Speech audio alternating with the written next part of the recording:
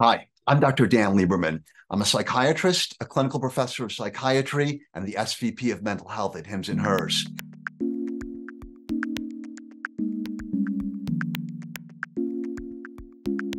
There's individual therapy, group therapy. You can do therapy in person or you can do it remotely.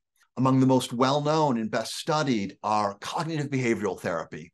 That takes a look at potentially maladaptive thought patterns and helps you correct them. And when you correct your thoughts, oftentimes feelings and behaviors follow.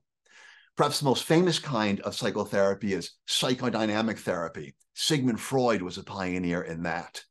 Psychodynamic therapy explores the unconscious mind, a mysterious part of the mind that we're generally unaware of, can have a profound effect on our feelings and behaviors.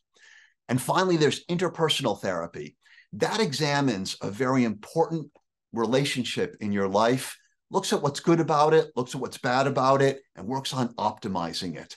Optimizing one relationship often has a domino effect and leads to better relationships throughout your life. Thanks for watching. I'd love to answer any additional questions that you may have. Drop them in the comments. And don't forget to subscribe so you don't miss a single episode.